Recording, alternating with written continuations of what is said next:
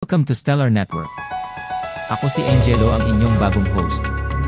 Dito sa Stellar Network ay siguradong updated ka sa showbiz news at iba pa.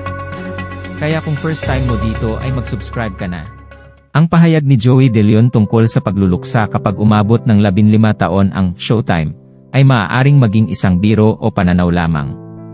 Karaniwang ginagamit ng mga personalidad sa industriya ng telebisyon ang humor upang magbigay ng aliw at magpatawa sa kanilang mga tagapanood. Ang pahayag na ito ay maaaring nagsasaad ng paghanga o pagtanggap sa tagal ng programa, subalit hindi ito nangangahulugan ng anumang tiyak na kahulugan o plano para sa programa. Sa halip, maaaring maging bahagi lamang ito ng pang-araw-araw na diskusyon at pagbibigay pugay sa tagumpay ng programa sa industriya ng telebisyon. Habang ang Showtime ay patuloy na nangunguna sa ratings at nagbibigay ng aliw sa maraming manonood, hindi maiwasan ang posibilidad na sa mga darating na taon, maaaring magbago ang dynamics ng programa o magkaroon ng mga pagbabago sa cast at konsepto.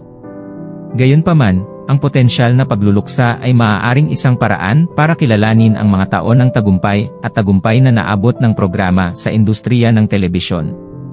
Sa kabuuan, ang pahayag ni Joey De Leon ay maaaring magdulot ng iba't ibang reaksyon mula sa mga manonood, ngunit ito ay bahagi lamang ng patuloy na pag-unlad at pagbabago sa industriya ng telebisyon.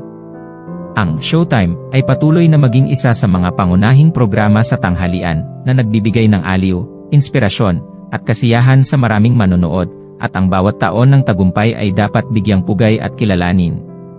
Ang pagkatalo ng Eat Bulaga sa ratings ay maaaring magdulot ng hindi pagkakatugma sa ilang mga personalidad sa industriya ng telebisyon, lalo na kung ito ay isang matagal ng tanyag at kinikilalang programa tulad ng Eat Bulaga.